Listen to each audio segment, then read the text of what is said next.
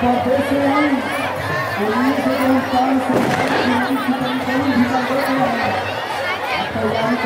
छोड़ रहे थे हाथ में